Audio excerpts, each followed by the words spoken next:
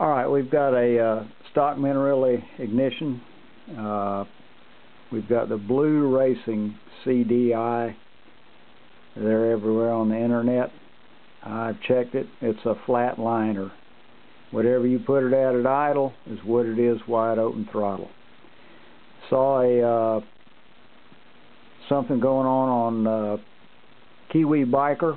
Wobbly posted putting a capacitor between the pickup coil and ground. Uh, gave you a poor man's retardation setup so you could have a curve designed for a two-stroke racing engine. So I decided to try it. Okay, uh, we're going to spool this thing up. Flat liner. Uh, let's see. Here's the 47 microfarad capacitor without it being grounded. Okay, there we go. We're about three degrees before top. Run it on up.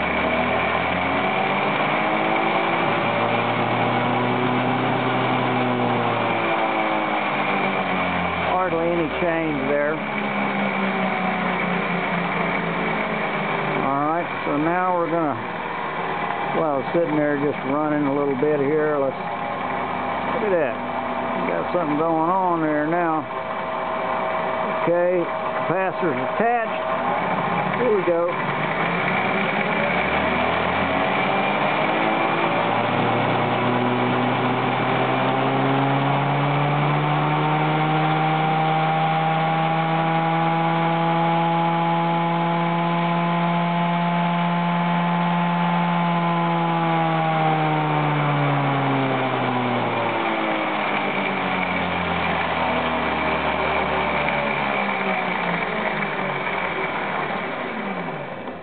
All right, 0.47 microfarad capacitor from the pickup coil to ground.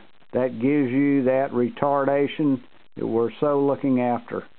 You could set the initial at approximately 25 to 28 degrees. At 11,000 you'd have 10 degrees or slightly less. It's a good thing.